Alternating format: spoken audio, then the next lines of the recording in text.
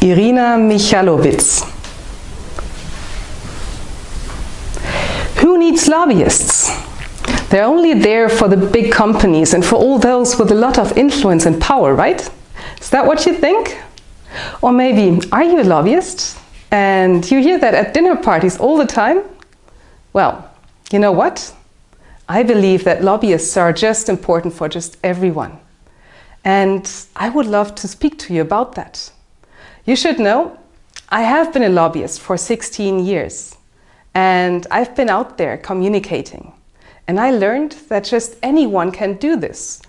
With little resources, just a little bit of time, investment, you can be out there and your voice can get heard.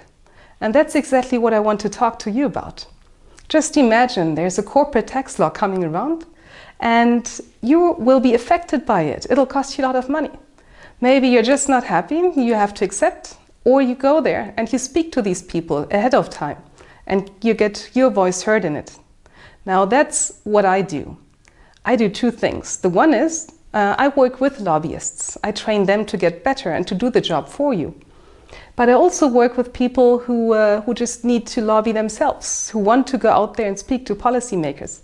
And I help them that they really know how to invest their resources wisely.